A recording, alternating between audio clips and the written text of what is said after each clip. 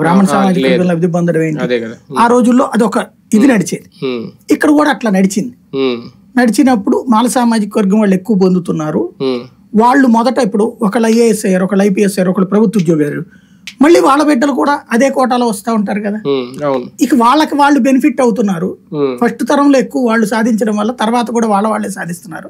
వేరే వాళ్ళకి అవకాశం వేరే వాళ్ళకి మా మాదిగ సామాజిక వర్గానికి రావట్లేదంటే మాదిగ సామాజిక వర్గానికి కూడా ఉన్నాయి.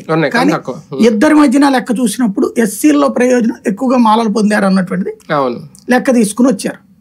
దానికి అప్పుడు మాల సామాజిక వర్గం నుంచి ఇప్పుడు జూపిడి కానీ ఇట్లాంటి వాళ్ళు ముందుకు వచ్చి వీళ్ళు ప్రభుత్వ ఉద్యోగాలు వదిలేసి ఉద్యమాల్లోకి వెళ్ళి లేదు అట్లాంటిది ఏం లేదు అబద్ధమని వీళ్ళు ఇంకొక డాక్యుమెంట్ పట్టుకుని వచ్చారు.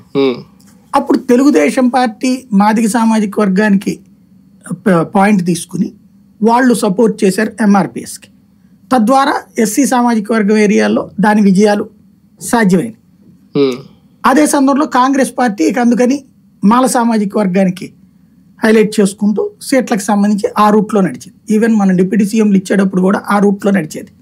వాళ్ళు ఉన్నప్పుడు అట్లా ఇవ్వడం. ఉమ్, మాల సామాజిక వర్గానికి ఇవ్వడం వీళ్ళు ఉన్నప్పుడు మాది సామాజిక వర్గానికి మంత్రివర్గంలో ప్రాధాన్యతలు ఇవ్వడం ఇట్లా సాగినాయి.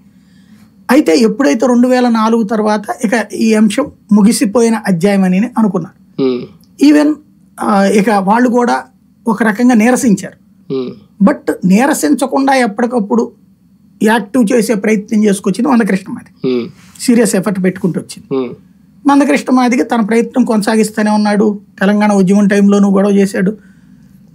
అంతా నడిచింది. రెండు వేల పద్నాలుగు తర్వాత ఒక పెద్ద సమస్య ఈ ఉద్యమానికి వచ్చింది. ఈ రెండు వేల నాలుగు తర్వాత ఈ తెలంగాణ ఆంధ్ర ఉద్యమాల్లో ఇద్దరు చెరొక వైపు నుంచి ఉన్నారు మాది సామాజిక వర్గం మాల సామాజిక వర్గం రెండు వాటిల్లో పోరాటాలు. అసలు అంశం పక్కెళ్ళిపోయింది. వర్గీకరణ అంశం పక్కెళ్ళిపోయి ఈ ఉద్యమాలలో వీళ్ళ పాత్ర ఇటువైపుకి డైవర్ట్ అయిపోయింది.